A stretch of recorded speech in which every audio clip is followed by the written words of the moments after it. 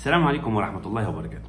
هي إيه التحاليل المفروض الدكتور يطلبها من المريض اللي عنده سكر في أول زيارة ليه في العيادة؟ في خمس حاجات بيعملهم الدكتور جوه العيادة وخمس حاجات بيعملهم المريض بره العيادة أو في المعمل.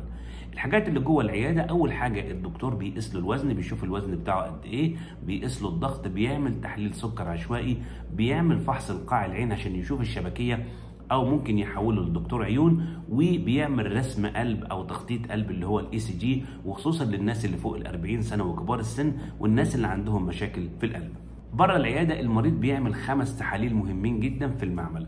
أول حاجة سكر صايم وسكر بعد ساعتين بعد الفطار بساعتين والسكر التراكمي اللي بيشوف نسبة السكر في الدم لمدة 3 شهور فاتوا. تاني حاجة بيعمل تحليل بول عشان يشوف نسبة السكر في البول يشوف نسبة الألبومين في البول ويشوف كمان هل في صديد في البول ولا لأ ولو في صديد بيعمل مزرعة بول تالت حاجة بيشوف وظائف الكلى بيشوف نسبة الكرياتينين في الدم قد إيه. رابع حاجة بيشوف وظائف الغدة الدرقية وخصوصا هرمون المحفز للغدة الدرقية. خامس تحليل هو تحليل الدهون الثلاثية وتحليل الكوليسترول في الدم.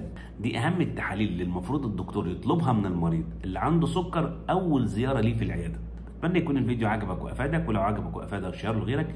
المرة الجاية هنتكلم عن أهم التحاليل اللي الدكتور بيعملها لمريض السكر كل ست شهور أو كل فترة علشان يتابع معاه. اتمنى إن يكون الفيديو عجبك وأفادك ولو عجبك وأفادك شيره لغيرك بتمنى ليكم الصحة والعافية. كان معاكم دكتور طارق تركي استشاري رياضة العظام والعنايه بالقدم والقدم السكري. سبحان الله بحمده سبحان الله العظيم.